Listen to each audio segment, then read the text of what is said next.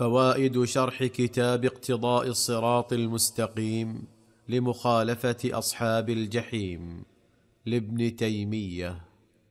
صلى الله إليكم قال فإن كان الرجل من الطائفة الفاضلة مثل أن يذكر فضل بني هاشم أو قريش أو العرب أو بعضهم فلا يكون حظه استشعار فضل نفسه والنظر إلى ذلك فإنه مخطئ في هذا لأن فضل الجنس لا يستلزم فضل الشخص كما قدمناه.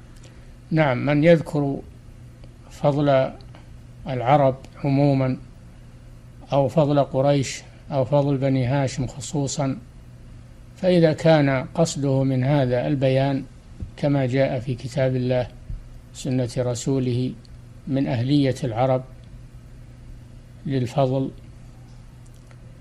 فهذا لا بأس به. أما إذا كان غرضه من ذلك أن يمدح نفسه فهذا مذموم.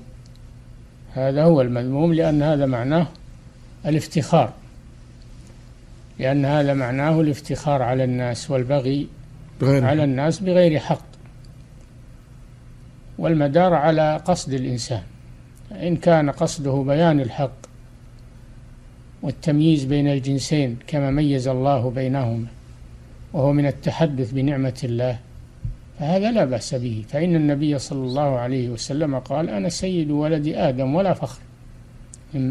من باب التحدث بنعمة الله. ونفي التفاخر به.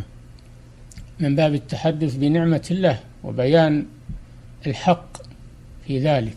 لا من باب أنه يفتخر ويستطيل على على الناس. أما إذا كان قصده من مدح العرب و أو مدح قريش أو بني هاشم إن كان منهم قصده من ذلك أن يمدح نفسه.